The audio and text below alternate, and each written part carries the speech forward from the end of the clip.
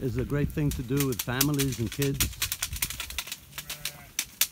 And you can do this pretty much through July, August, September, when the carob beans, which you see high up on the tree, are ripe.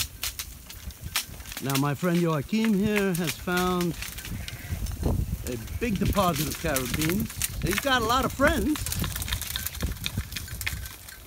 Four-legged friends.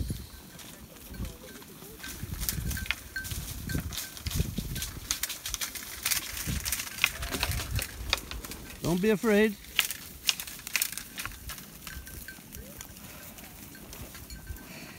Will they take it from my hand? Here. There you go.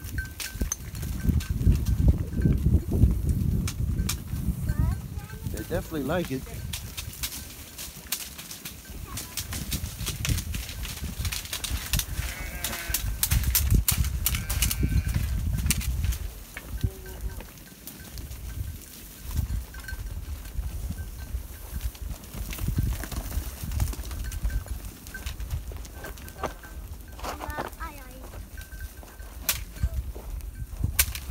Yeah, this one.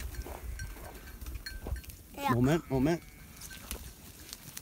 Let's bring it down. Can you reach that? No.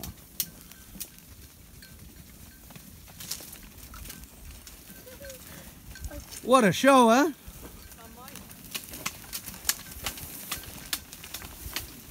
So what do you think of uh, people who eat meat?